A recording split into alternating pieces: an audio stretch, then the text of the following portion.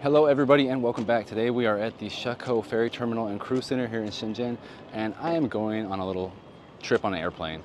And so I'm gonna go to the Hong Kong airport here from Shenzhen and I'm gonna show you step by step how to actually do that because some people have asked me about that. I've uh, made a few videos here recently in this neighborhood and uh, some people asked, well, how do you actually use the ferry terminal, blah, blah, blah. So that's what we're gonna do today. It's very, very simple, very easy. Um, first things first, to get here, you take uh, the subway, most convenient way, or you can take a taxi, of course, or a bus.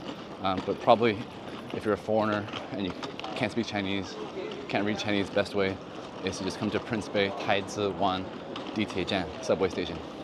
And you come in here, and the first thing you want to do is you want to just kind of make your way here to the left, and you're going to go to the second floor. This is if you're going to the Hong Kong airport. There are other things you can do here, like uh, different cruises or different destinations.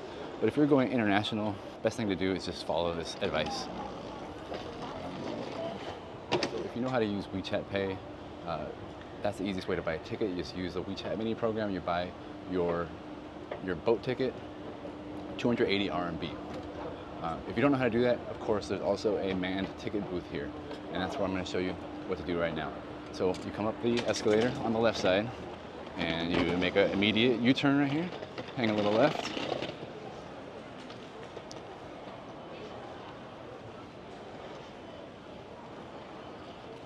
And up there on the right, you can see that is the ticket window, ticket counter. There's usually a little bit of a line here, not usually too long. So your first step is to get your boat ticket. So you buy that right there. If you've already got a ticket, you can also use these machines right here scan your passport or use your verification code, your confirmation code, and it does have English, so you just go English, pick up ticket. You can also purchase a ticket here, but you're gonna need WeChat most likely, or uh, Union Pay, which you probably do not have. So you pick up your ticket here. Of course, you can scan your QR code if you have it. Um, you can use your passport, that's certificates right here, or you can use your transaction number right here. So certificates would be your passport. And you choose your destination, Hong Kong airport and you scan your passport right there. Easy. So after you get your ferry ticket, you just come here to the airplane check-in, just like an airport, right?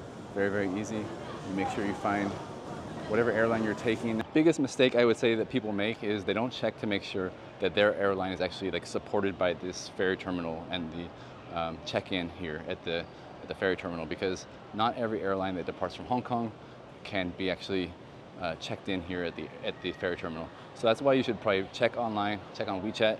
When you actually buy your, your ticket on WeChat, it will ask you what airline you are and what your flight number is. And if it's not on there, not listed, then you can't buy the ticket. So obviously, if you can't get your boarding pass here, you can't get on the ferry, you can't go to the airport.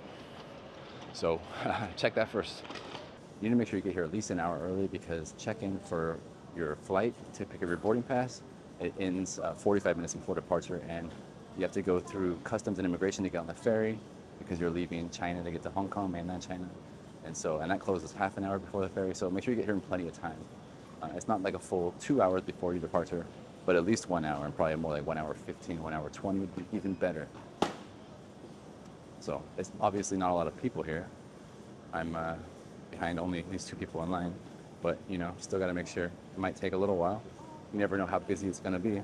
So once you have your ferry ticket and your boarding pass, your next stop is to just turn right around and head to the left, and that's where you can find the departures for uh, the airport and for international uh, trips, because that's where they have customs at.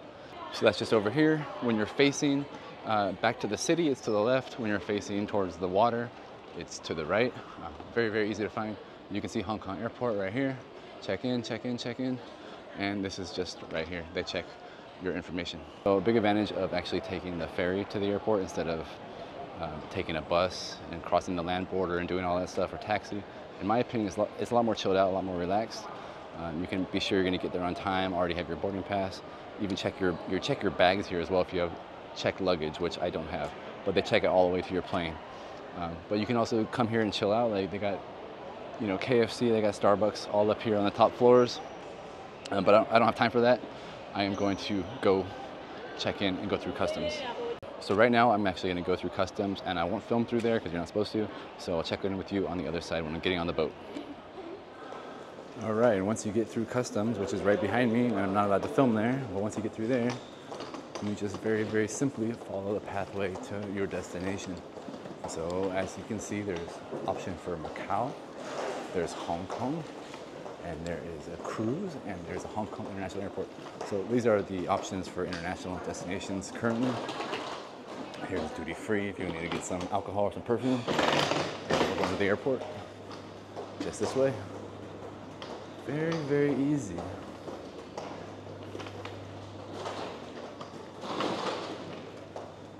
The boat ride should take about half an hour. And once we get there, all we gotta do is go through airport security, which is a different airport security from the main one because it's on a completely different side of the airport, basically. Um, so again, not so many line, not long line at all. Like it's just the people from the boat. So very, very easy, very, very quick.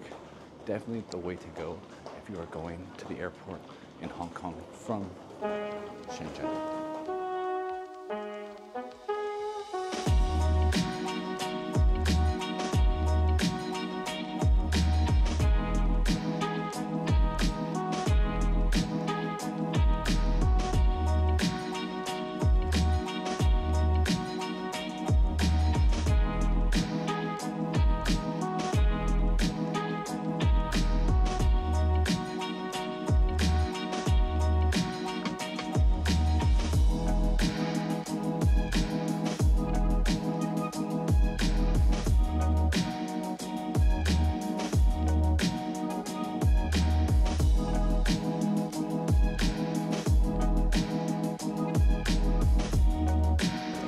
Okay, so immediately after you get off the boat, you go straight to airport security right here. So that was very, very quick. And then once you're done with security, the first thing you want to do is you want to go to the tax refund desk. So that's just straight ahead here. And I should be able to get like 110 or something Hong Kong dollar. I forget. But you have a, uh, let me find it here. When you're in Shenzhen at the ferry terminal, they give you this tax refund receipt. So there you go. Your refund coupon. There you go. 120 Hong Kong dollars, which should be something like, um, I don't know, 15 US dollars. I haven't checked the uh, exchange rate recently, but hey, not bad. You can buy some lunch. And then after that, down the escalator and onto the airport train, and off you go to your gate.